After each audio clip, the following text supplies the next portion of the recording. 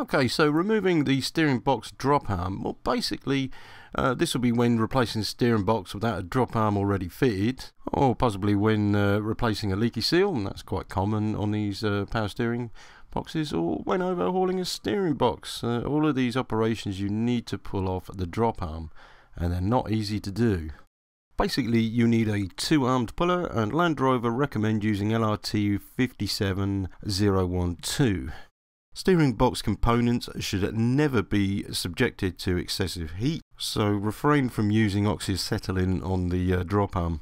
In this video we'll be looking at the Sykes Pickavant drop arm puller specially made for the job. Right, so first of all you're going to have to remove the lock tab. This is a uh, very important piece of equipment that should be seen on a steering box. It basically stops the nut from coming undone. Once we're there, then this is very hard to remove. Now I'm using uh, a battery gun which has a pull of at least 300 newton meters. Okay, so this is a 35 or 36 mil socket, and bang, away we go. She's off, no problem. Okay, so that's the easy bit. I'm not wanting to put you off here, but this is a hard job. Right, so we have the Sykes Pickavant tool here, which is the um, specifically made for Land Rovers um, drop arm puller. Also, it can be used on a Ford Transit. This tool actually is uh, used in conjunction with a hammer. Okay, some Land Rover people enjoy this. Basically, first of all, you want to put pressure on the spindle and then slap the center with a large hammer and the shock should eventually jar this off. Okay, I find this actually very hard to work with. So, what we use is a 1500 series hydraulic ram instead. Now you can get them at 8 tons or 10 ton force. Uh, this sort of thing is used on most puller sets. Okay, it's quite a universal um, thing to use. Now this one I've just borrowed off the workshop uh, toolboard and it screws straight into the equipment. So if you happen to have Sykes Pickavant stuff around, fine. Bang, look at that. Put the pressure on, tapped it, that drop arm came off. Okay, well fair enough, that was just for dramatic effect. Now you really need to put a nut on um, the thread and use it as a retainer so the drop arm doesn't fly off and hurt somebody.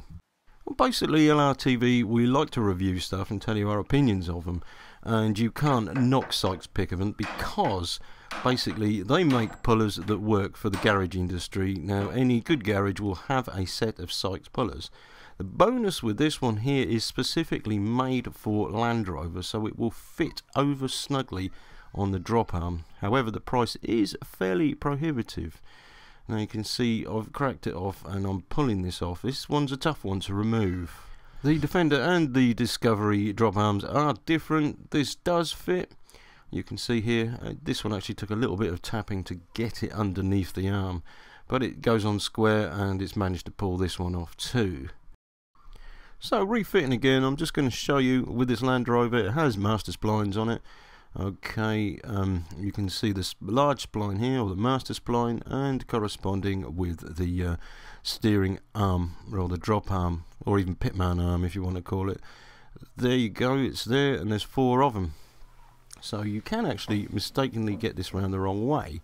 First thing you should note, um, the slot and the hole on the steering box, they should be aligned.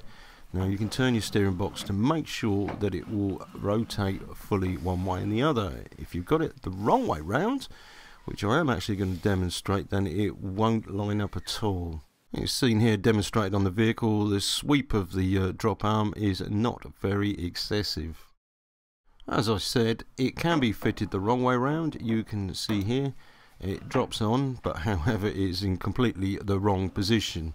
So be very aware of this. This has to line up with the peg on the back there. So the hole and the slot are aligned. Okay, so that is basically it.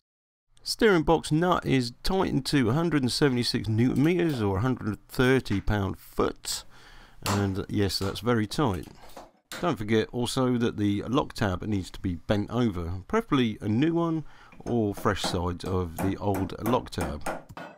Okay, so basically, in summary, this puller is made by Sykes Pickavant.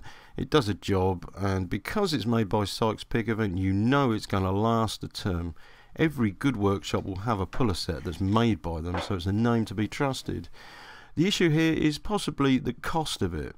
I'm not going to tell you how much it is. Google it if you want to know.